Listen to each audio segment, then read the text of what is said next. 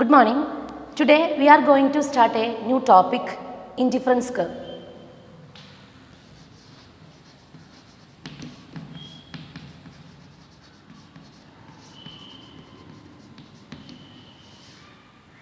Indifference curve is defined as the locus of combinations of two goods which give the same level satisfaction. ഇപ്പോൾ നമ്മൾ കഴിഞ്ഞ ദിവസങ്ങളിൽ പഠിച്ചു കഴിഞ്ഞിട്ടുണ്ട്. ഇൻഡിഫറന്റ് ബണ്ടിൽസ് കൺസ്യൂമറുടെ പ്രിഫറൻസ് വെച്ച് നോക്കുകയാണെങ്കിൽ കൺസ്യൂമർ ചില ബണ്ടിൽസിന് കൂടുതൽ പ്രിഫറൻസ് ഉണ്ടാവും. പിന്നെ അതിന് അയാളുടെ താല്പര്യം അനുസരിച്ചിട്ട് എന്ത് ചെയ്യുന്നുണ്ട്? ബണ്ടിൽസുകൾക്ക് റാങ്കുകൾ അസൈൻ ചെയ്ത് നമ്മൾ കണ്ടു. പക്ഷെ അവിടെ നമ്മൾ കണ്ടിട്ടുണ്ടായിരുന്നു എന്ത് ചെയ്യുന്നുണ്ട്? ചില ബണ്ടിൽസുകൾക്ക് എന്ത് ചെയ്യുന്നുണ്ട്? ഈക്വൽ റാങ്കുകളാണ് നൽകുന്നത്. അത്തരം ബണ്ടിൽസ് നമ്മൾ അവിടെ പേരും പറഞ്ഞിട്ടുണ്ടായിരുന്നു ഇൻഡിഫറന്റ് ബണ്ടിൽസ് അപ്പോൾ ഈ ഇൻഡിഫറന്റ് ബണ്ടിൽസുകളൊക്കെ കൂട്ടി യോജിപ്പിച്ച് വരയ്ക്കുന്ന ഒരു കർവാണ് നമ്മുടെ ഏത്? ഇൻഡിഫറൻസ് കർവ് അതായത് ഈക്വൽ സാറ്റിസ്ഫാക്ഷൻ നൽകുന്ന ഇൻഡിഫറൻസ് കർവ് കൂട്ടി യോജിപ്പിച്ച് വരയ്ക്കുന്ന കർവ് അതിനെ നമ്മൾ എന്ത് പറയാ? ഇൻഡിഫറൻസ് കർവ് എന്ന് പറയും. ഇതിന് മലയാളത്തിൽ നമ്മൾ പറയുന്നത് ഉദാസീനതാ വക്രം അഥവാ നിസ്സംഗത വക്രം എന്നൊക്കെയാണ്. പറഞ്ഞു തരുന്നത് മലയാളം സ്റ്റുഡൻസും കൂടെ ഉള്ളത് കൊണ്ടാണ്. അപ്പം any difference curve is defined as locus of points of combinations of two goods which give the same level satisfaction അപ്പോൾ നമുക്കറിയാം ഇതൊരു കർവാണ് അല്ലേ? അപ്പോൾ അതുകൊണ്ട് നമുക്ക് എന്ത് ചെയ്യാം? എങ്ങനെയാണ് നമ്മൾ ഇൻഡിഫറൻസ് കർവ് കൺസ്ട്രക്റ്റ് ചെയ്യാൻ നോക്കുക. ഓക്കെ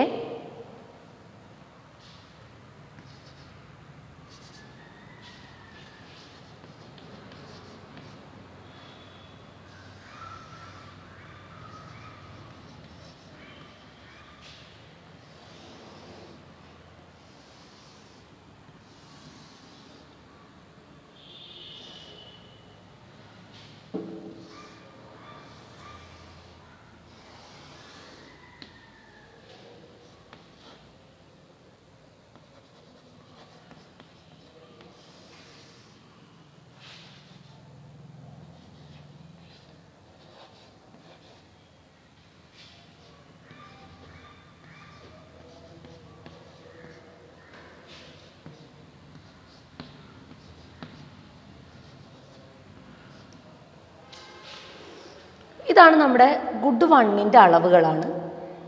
ദെൻ ഇത് ഗുഡ് ടുവിന്റെ അളവുകളാണ്. അപ്പോൾ good one good two combinations നമ്മൾ പറയാം ബണ്ടിൽസ് ആണ്. അപ്പം A bundle B bundle B bundle two seven C three four അങ്ങനെ നമ്മൾ ബണ്ടിൽസിന് കാണിക്കുകയാണ്.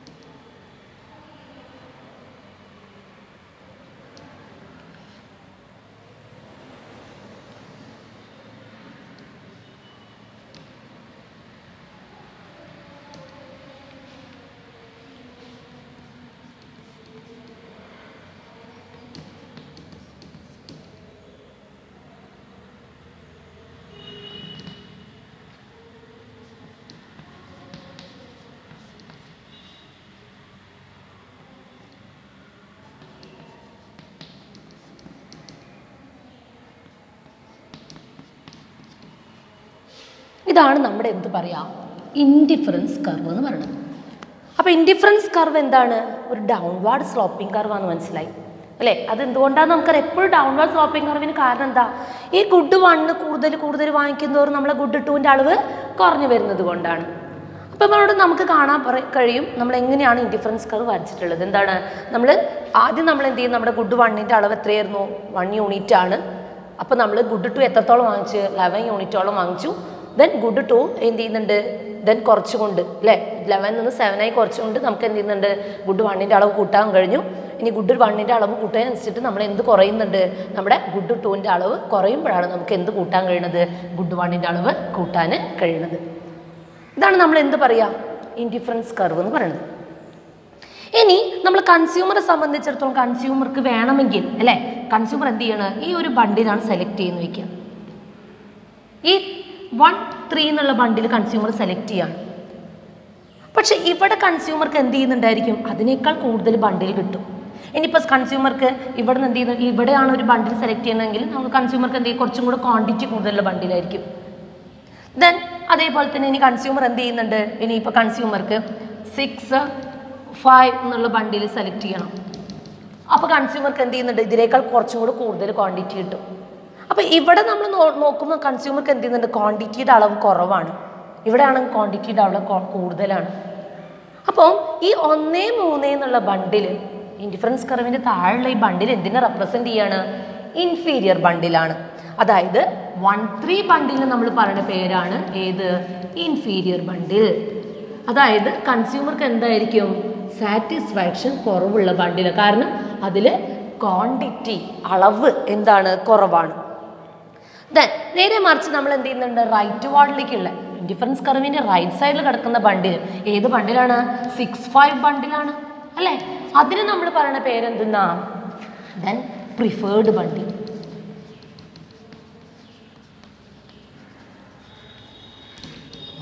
ഇൻഡിഫറൻസ് കർവിന്റെ മുകളിലുള്ള ബണ്ടിൽ കൺസ്യൂമർക്ക് ഇപ്പോൾ വൺ ലെവൻ ആയാലും two seven three four four two five one ബണ്ടിലിന്റെ മുകളിൽ കിടക്കുന്ന ഇൻഡിഫറൻസ് കർവിന്റെ മുകളിൽ കിടക്കുന്ന ഈ ബണ്ടിലൊക്കെ കൺസ്യൂമർക്ക് എന്താണ്? ഈക്വൽ സാറ്റിസ്ഫാക്ഷൻ നൽകുന്ന ബണ്ടിലാണ്. അതുകൊണ്ട് തന്നെ കൺസ്യൂമർക്ക് എന്തില്ല? അതിന്റെ അകത്ത് ചോയ്സ് ഒന്നുമില്ല.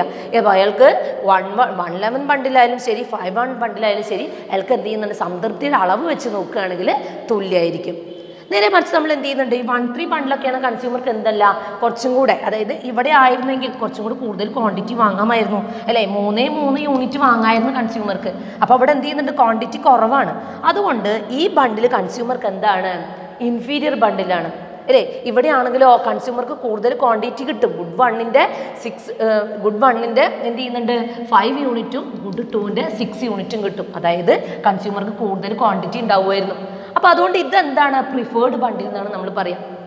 ഡിഫറൻസ് കർവിന്റെ റൈറ്റ് സൈഡിൽ എന്ത് ചെയ്യുന്നുണ്ട്? പ്രിഫേർഡ് ബണ്ടിലായിരിക്കും അന്ന് ലെഫ്റ്റ് സൈഡിലോട്ട് പോകുമ്പോൾ അതെന്തായിരിക്കും? ഇൻഫീരിയർ ബണ്ടിലായിരിക്കും ദെൻ ഇനി ഈ ഇൻഡിഫറൻസ് കർവിന്റെ പ്രത്യേകത നമുക്ക് മനസ്സിലായി. ഇൻഡിഫറൻസ് കർവിന് എന്ത് ചെയ്യുന്നുണ്ട്? ഒരു സ്ലോപ്പ് ഉണ്ട് അല്ലേ? ഇൻഡിഫറൻസ് കർവ് എന്താണ്? ഡൗൺവാർഡ് സ്ലോപ്പിംഗ് കർവാണ്. ആക്ച്വലി ഈ ഇൻഡിഫറൻസ് കർവിന്റെ ഡൗൺവാർഡ് സ്ലോപ്പിങ്ങിനും കാരണം എന്ത് ചെയ്യുന്നുണ്ട്? ഗുഡ് വണ്ണിന്റെ അളവ് കൂട്ടാൻ വേണ്ടിയിട്ട് ഗുഡ് ടു സാക്രിഫൈസ് ചെയ്യുന്നത് കൊണ്ടാണ്. ഇത് നമ്മൾ വേറൊരു സ്ഥലത്ത് പഠിച്ചിട്ടുണ്ടായിരുന്നു. കഴിഞ്ഞ ക്ലാസ്സിൽ നമ്മൾ പഠി പറഞ്ഞതായിരുന്നു ഏത്? റേറ്റ് ഓഫ് സബ്സ്റ്റിറ്റ്യൂഷനാണ് അപ്പോൾ റേറ്റ് ഓഫ് സബ്സ്റ്റിറ്റ്യൂഷന്റെ സ്ലോപ്പും ഇൻഡിഫറൻസ് കർവിന്റെ സ്ലോപ്പും സെയിം ആണ്. അതായത് റേറ്റ് ഓഫ് സബ്സ്റ്റിറ്റ്യൂഷൻ അല്ലേ? റേറ്റ് ഓഫ് സബ്സ്റ്റിറ്റ്യൂഷന് നമ്മൾ പേര് വേറെ പറഞ്ഞിട്ടുണ്ടായിരുന്നു. ഏതായിരുന്നു? മാർജിനൽ റേറ്റ് ഓഫ് സബ്സ്റ്റിറ്റ്യൂഷൻ അപ്പോൾ റേറ്റ് ഓഫ് സബ്സ്റ്റിറ്റ്യൂഷന്റെ സ്ലോപ്പും മാർജിൻ റേറ്റ് ഓഫ് സബ്സ്റ്റിറ്റ്യൂഷന്റെ സ്ലോപ്പും ഈക്വലാണ് എന്തിന്? സ്ലോ ഇൻഡിഫറൻസ് കർവിന്റെ സ്ലോപ്പിന് അതായത് സബ്സ്റ്റിറ്റ്യൂഷൻ റേറ്റിന്റെ സ്ലോപ്പും ദെൻ മാർജിൻ റേറ്റ് ഓഫ് സബ്സ്റ്റിറ്റ്യൂഷനും ദെൻ സ്ലോ ഇൻഡിഫറൻസ് കറവിന്റെ സ്ലോപ്പ് എന്തായിരിക്കും? ഈക്വൽ ആണ്. അപ്പോൾ നമുക്കറിയാം എന്തായിരുന്നു റേറ്റ് ഓഫ് സബ്സ്റ്റിറ്റ്യൂഷൻ അഥവാ margin rate of substitution delta X two by delta X one ഇത് തന്നെയാണ് നമുക്ക് എന്തിന്റെ? ഈ മൂന്നെണ്ണത്തിന്റെ അതായത് റേറ്റ് ഓഫ് സബ്സ്റ്റിറ്റ്യൂഷന്റെ ആയാലും ശരി മാർജിൻ റേറ്റ് ഓഫ് സബ്സ്റ്റിറ്റ്യൂഷന്റെ ആയാലും ശരി ദെൻ ഐ സിയുടെ ആയാലും എന്ത്? സ്ലോപ്പ് ഇക്വേഷൻ അതായത് സ്ലോപ്പിന് തുല്യ. കാരണം എപ്പോഴും എന്ത് ചെയ്യുന്നുണ്ട്? ഗുഡ് വണ്ണ് ടു കുറച്ച് കുറച്ച് കുറച്ചാണ് നമുക്ക് എന്ത് ചെയ്യുക? ഗുഡ് ടുവിന്റെ കൂടുതൽ കൂടുതൽ ക്വാണ്ടിറ്റി നമുക്ക് വാങ്ങിക്കാൻ കഴിയുക. ഇനി നമ്മൾ എന്ത് ചെയ്യുന്നുണ്ട്? നമ്മുടെ നമ്മൾ ടേബിൾ വെച്ച് നേരത്തെ നമ്മൾ നോക്കുന്നത് പോലെ തന്നെ നോക്കുകയാണെങ്കിൽ ഒന്നുകൂടെ വരച്ച് തരാം. ഇത് വണ്ണ് ഗുഡ് ടൂവ്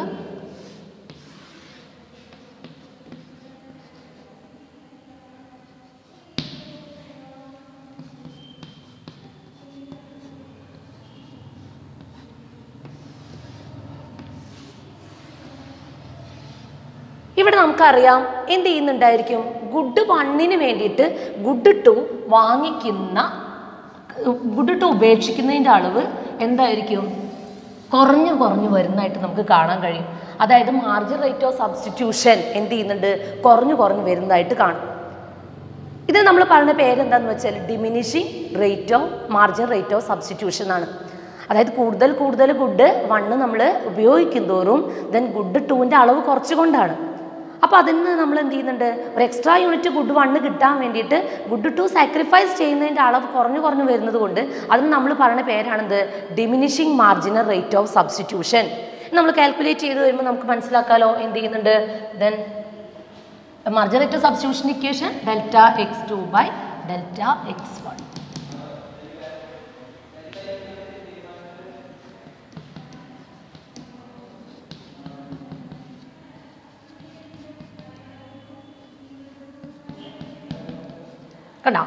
ഇവിടെ എന്താ മനസ്സിലാക്കിയത്? മാർജിൻ റേറ്റ് ഓഫ് സബ്സ്റ്റിറ്റ്യൂഷൻ എന്ത് ചെയ്യാണ്?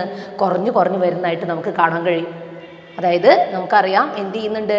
ദെൻ ഗുഡ് വണ്ണിന്റെ അളവ് കൂട്ടും തോറും. ഇത് മുഴുവൻ നമ്മൾ അത് തന്നെയാണ് പറയുന്നത്. ഇത് തന്നെയാണ് നമ്മൾ rate of substitution margin rate of substitution difference curve ഒക്കെ സ്ലോപ്പ് ഡൗൺവേർഡ് സ്ലോപ്പിംഗ് ആയതുകൊണ്ടാണ് വീണ്ടും അത് തന്നെ പറഞ്ഞുകൊണ്ട് നിൽക്കുന്നത് അപ്പോൾ നമ്മളിവിടെ എന്ത് ചെയ്യുന്നുണ്ട്? മാർജിൻ റേറ്റ് ഓഫ് സബ്സ്റ്റിറ്റ്യൂഷൻ എന്ത് ചെയ്യുന്നുണ്ട്? കുറഞ്ഞു കുറഞ്ഞു വരുന്നതായിട്ട് നമുക്ക് കാണാൻ കഴിയും. അപ്പോൾ ഇതിന് നമ്മൾ പറയുന്ന പേരാണ് എന്തെന്ന്? Diminishing marginal rate of substitution D പറഞ്ഞു കഴിഞ്ഞാൽ diminishing marginal rate of substitution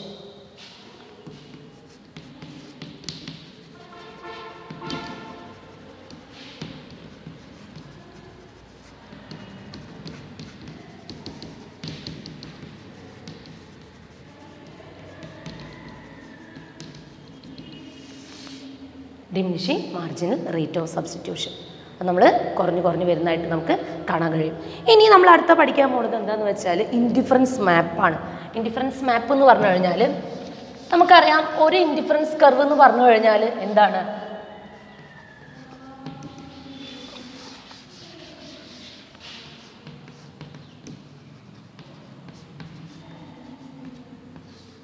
Indifference map Indifference map is defined as the collection of indifference curves. Indifference കർവുകളുടെ ഒരു കൂട്ടത്തിന് നമ്മൾ പറഞ്ഞ പേരാണിത് ഇൻഡിഫറൻസ് മാപ്പ് അപ്പോൾ നമുക്കറിയാം ഇവിടെ എന്ത് ചെയ്യുന്നുണ്ട്? ഒരുപാട് ഇൻഡിഫറൻസ് കർവുകൾ ഉണ്ടായിരിക്കും. നോക്കൂ.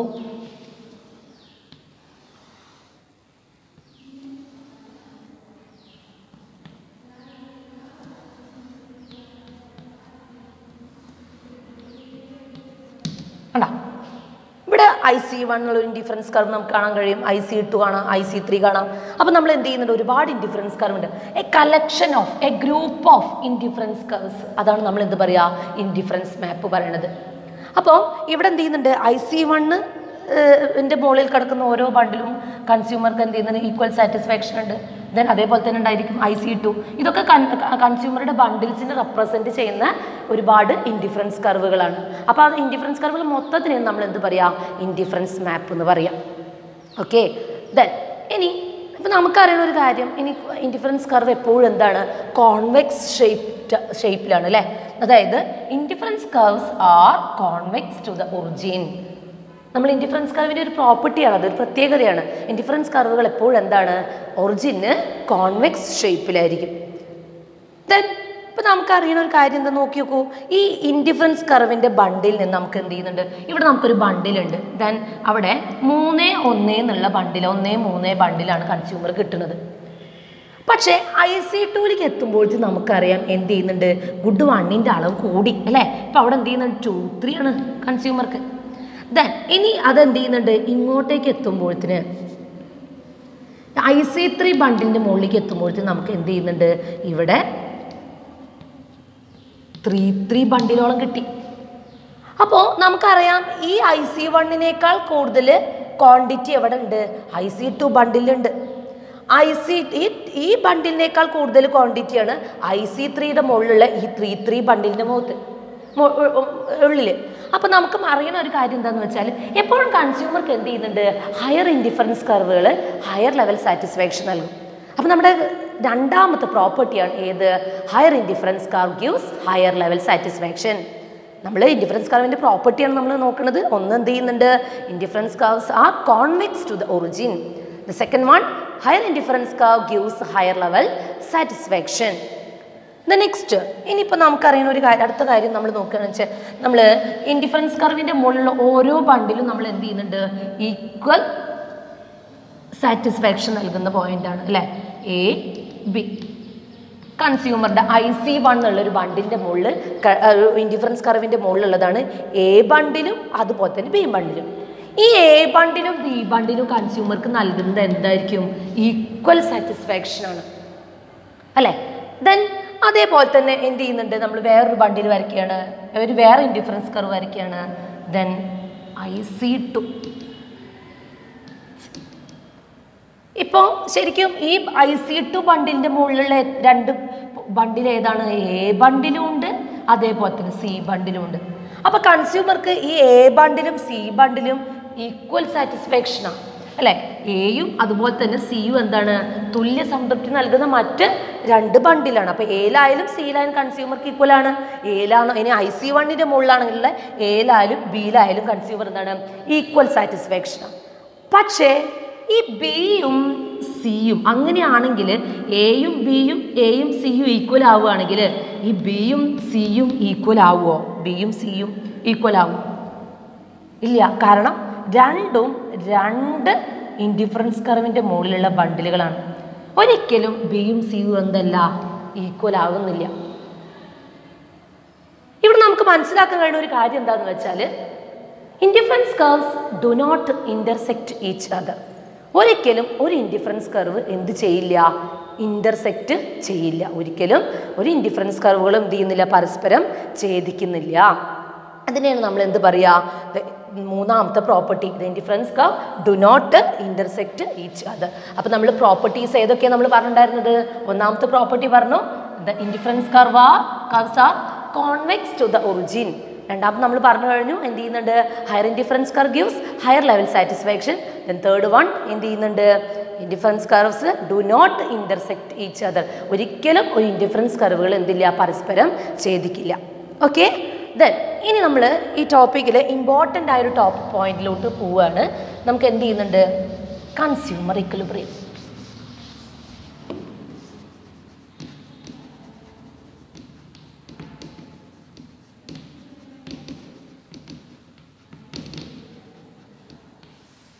കൺസ്യൂമേഴ്സ് ഇക്വിലിബ്രിയം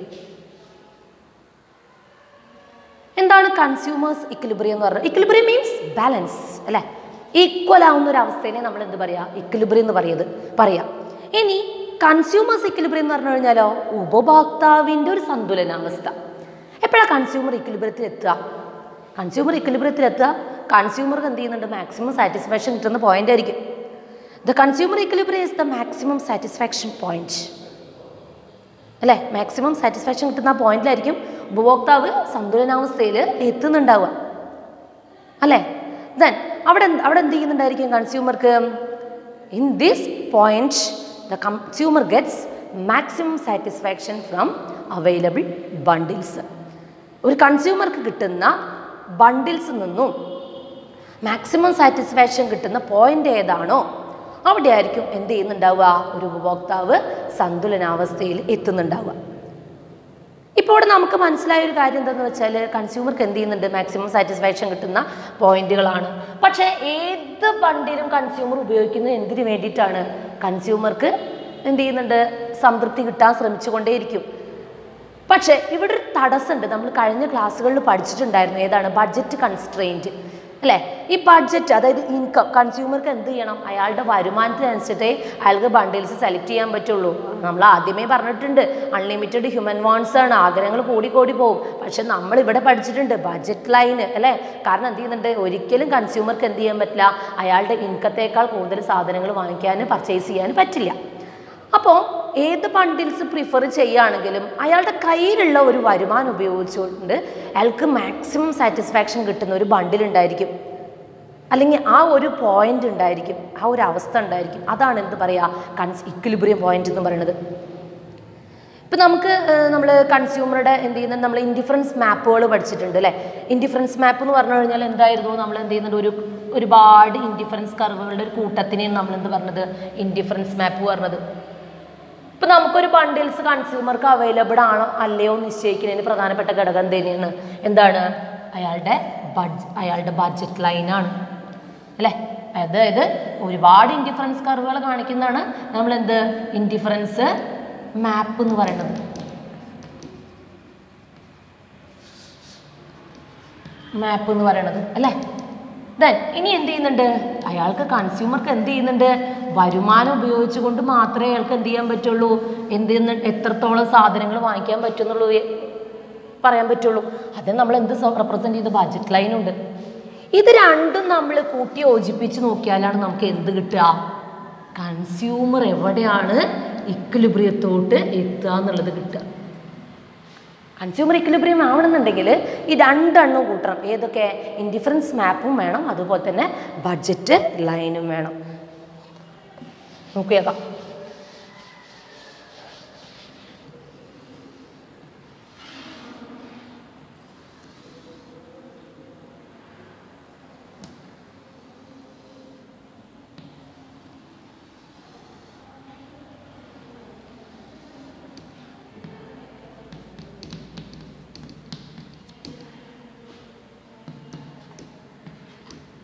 ഇവിടെ നമുക്ക് എന്തൊക്കെയാണ് കാണാൻ കഴിയുന്നത്?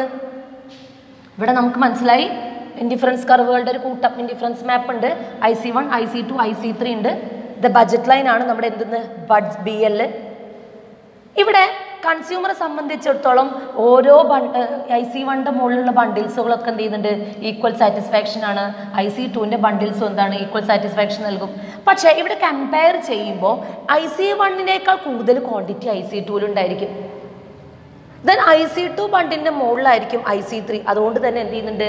കൂടുതൽ ക്വാണ്ടിറ്റി ഉള്ള ബണ്ടിൽസ് ആയിരിക്കും ഐ സി ത്രീയുടെ മുകളിലുള്ളത്. പക്ഷേ ഈ I C one I C two ബണ്ടിൽസിന്റെ മുകളിലുള്ള ഇൻഡിഫറൻസ് കർവിന്റെ മുകളിലുള്ള ബണ്ടിൽസ് മാത്രമേ കൺസ്യൂമർക്ക് സെലക്ട് ചെയ്യാൻ പറ്റുള്ളൂ. കാരണം എന്ത് ചെയ്യുന്നുണ്ട്? ഇവിടുന്ന് അങ്ങോട്ടേക്ക് പോകുമ്പോൾ അയാൾക്ക് എന്തില്ല? വരുമാനമില്ല. ബഡ്ജറ്റ് ലൈൻ ഇതേ കൺസ്ട്രെയിന്റ് ആയിട്ട് കിടക്കുകയാണ് ഇവിടെ. അതുകൊണ്ട് തന്നെ എന്ത് ചെയ്യുന്നില്ല? കൺസ്യൂമർക്ക് ഒരിക്കലും എങ്ങോട്ടേക്ക് പോകാൻ കഴിയുന്നില്ല. ദെൻ ഇൻഡിഫറൻസ് കർവിന്റെ ബഡ്ജറ്റ് ലൈന്റെ അപ്പുറത്തുള്ള ഐ സി ത്രീ എന്നുള്ള ബണ്ടിലോട്ട് പോവില്ല. പക്ഷേ കൺസ്യൂമർ എന്ത് ചെയ്യുന്നുണ്ട്? ഐ സി വണ്ണും ഐ സി ടുവിന്റെ മുകളിലുള്ള ബണ്ടിൽസ് ഒക്കെ അയാൾ എന്ത് ചെയ്യുന്നുണ്ട്? ഉപയോഗിക്കാൻ അയാൾക്ക് കഴിയും. അപ്പോൾ നമുക്ക് എന്ത് ചെയ്യുന്നുണ്ട്? ഇപ്പോൾ എ എന്നുള്ളൊരു ബണ്ടിലുണ്ട് ഐ സി വണ്ണിന്റെ മുകളിൽ. കൺസ്യൂമർക്ക് എന്ത് ചെയ്യാൻ വേണമെങ്കിൽ ബഡ്ജറ്റ് ലൈൻ ഈക്വൽ ആയിട്ട് വരുന്നതാണ് എ ബണ്ടിൽ സെലക്ട് ചെയ്യാം.